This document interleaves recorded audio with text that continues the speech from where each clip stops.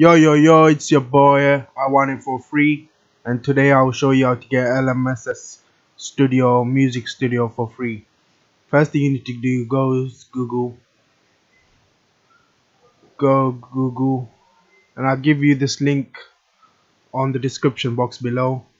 You just press this link, you go straight to the page. Then press uh, go to the main page. Then press download now. Then press 64 bits. It's gonna download. Take a bit time.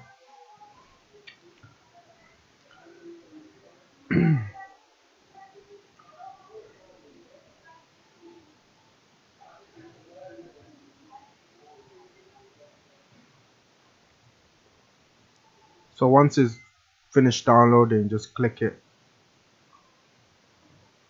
it's gonna open press S nope. Press next. Agree. Next. Okay choose where you want to install it to. I'm gonna choose I'm gonna choose the C drive. Press next. Press install.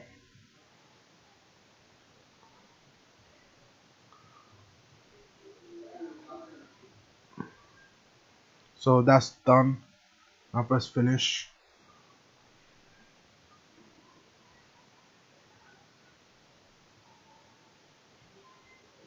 Now go press your start button. Should be right at the top. Click on LMS LMMS now press yes. So this is a studio for making music anything you want basically it's gonna take a few minutes. There you go. And this is where you can change your audio input. This is where your audio are audio settings. This is proper settings general settings. And this is your interface. If you connect any interface to it you like piano guitar all of that you can just go to interface I'm going to keep everything as it is.